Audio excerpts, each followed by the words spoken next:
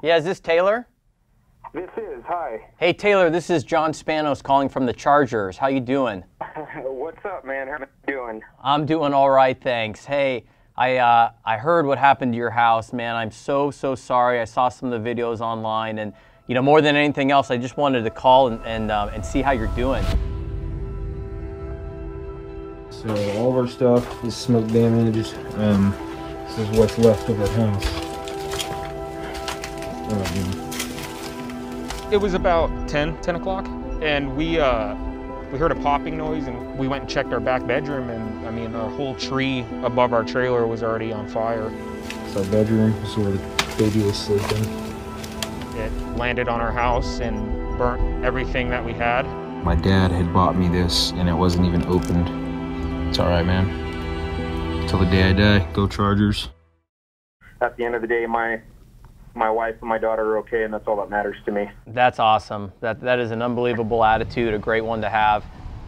Hey, look, eh, you know, one of the reasons I'm calling too, I know you've been through a lot. I know during hard times, sometimes, you know, like a distraction and just getting away can be nice. I wanted to see if you'd be open to uh, to us flying you out here for a little visit, maybe getting a tour of the new stadium and, and, and doing some fun stuff. Yeah, man. That that I mean, that would be amazing. This is my wife, Shyla. This is our daughter, Chandler. She's gonna be two on Friday. Um, I'm Tayler, and we are the Soto family. You know, I was kind of still in a state of shock, not realizing that, you know, um, the owner called me personally, but he was very humble and, and very respectful and, and just wanted to make sure we were okay, you know, and uh, he got us a very, very nice hotel. Then it offered, you know, to fly us out here. Um, we decided to drive ultimately because my daughter's health she has autoimmune neutropenia, hemo hypertension, and hemochromatosis is what she has. So she's very, very uh, compromised to the whole COVID thing. So this is her first big trip, and she did amazing.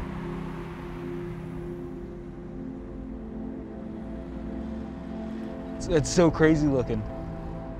That's insane. I've never been to an NFL game. I've never been to an NFL stadium. We've seen Google pictures, and uh, dude, I'm happy to be here. Hi guys, I'm Tayler. Yes, it is. Oh yeah, dude. And we have a special guest for you sitting over here. How here. you doing? Is that Antonio Gates? Oh my goodness, dude. What's up, Goat? How you doing, man? man? You all right? Oh, I'm good. Yes, man. sir. Yes. Yeah, that's crazy. Hello. This is my wife, Shyla. Hey, how you doing? And this is our daughter, Chandler. How you doing?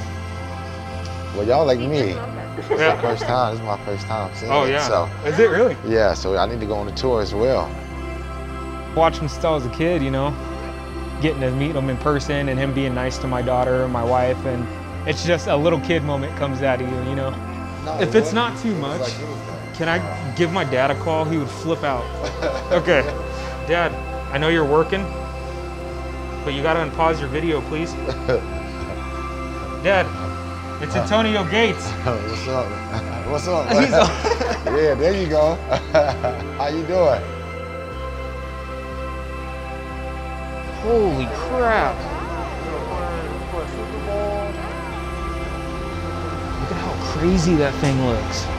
I've never seen anything like this. Right there. Oh, yeah.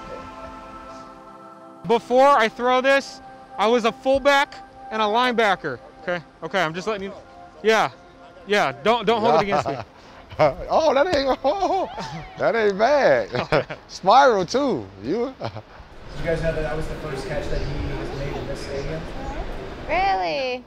That's so crazy. It's crazy.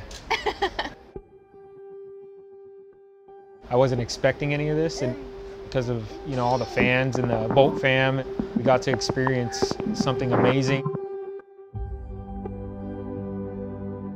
I always knew that like football brings people together, but honestly, like I, I was sitting there watching our house kind of in flames. I was just like, well, you know, we're we're screwed now, and I never ever dreamed that everyone would have done so much for us, and they did.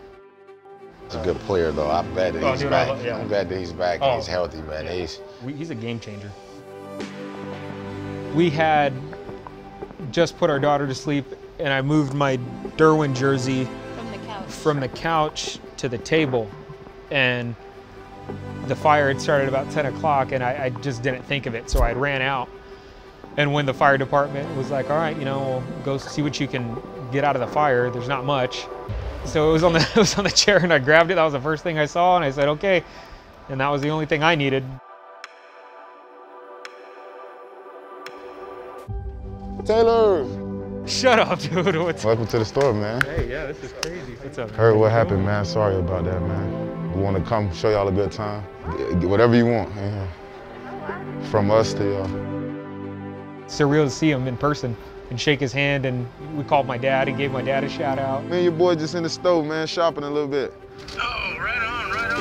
I think it does say a lot about him too, because there could be football players who just, oh, that's great, thanks for, you know, I share your tweet, and that, but he made the time to come down here and meet us. Your jersey I, I took out of my room that night before, and I left it, and she threw a bag over it, and it ended up burning the bag but saving the jersey, so I went and washed it. Man, I was gonna say, man, we gotta get you a new one and get it signed for you this time. Oh, hell yeah, dude. Hell yeah. I was actually kind of more excited to see them. This me?